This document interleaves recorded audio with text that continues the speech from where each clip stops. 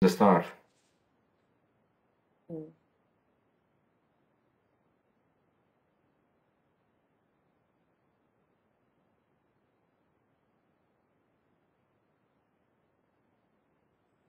So I, what was my comment on this nodule? Uh, this, okay, it is absolutely not an important uh, part of this case, but here you can see these background figures. Granule, granule, line, line, line or granule. So in this cystically degenerated part, uh, you can see uh, also background figures. Now I present uh, the other video in slow motion. So what is this nodule of echogenicity was my question. Hypoechoic. Please? Hypoechoic. It's it's like a follicular lesion, nodule in nodule. Okay. I Uh, think hypoechoic it has a dominantly hypoechoic component.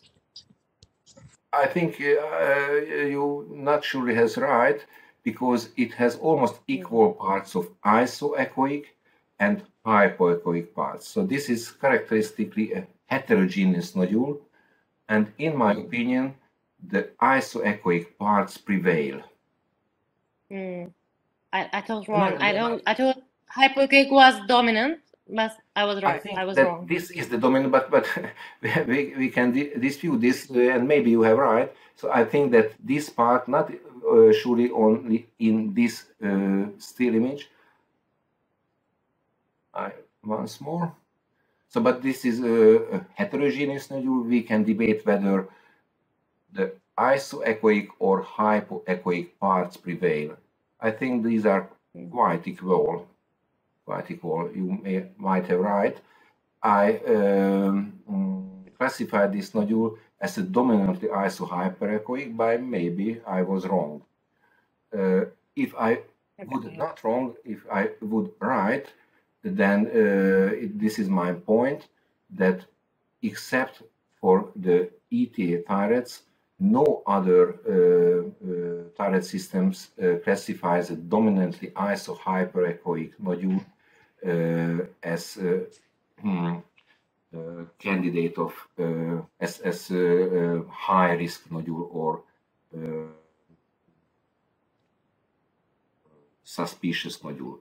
The ETA emerges from these four guidelines because ETA suggests aspiration cytology in category 3 lesions if it exceeds 15 millimeters. All other EAC, ACR, and K-TIRADS suggest uh, FNA in this category if the nodule exceeds 20 millimeter.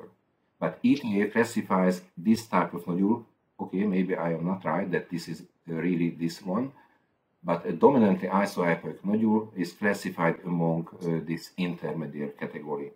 Only the ET classifies as uh, uh, uh, TIRADS for lesion Correct. and uh, uh, suggests uh, FNA. Okay, it was a very important point uh, that in great proportion of cases uh, uh, it can be debated whether it prevails or this part of the nodule prevails. In different sections, uh, the proportion prevails. In one section, the echogenic part, hypoechogenic part, in other section, the hyperechoic part. Uh, okay. Questions, comments related to this case?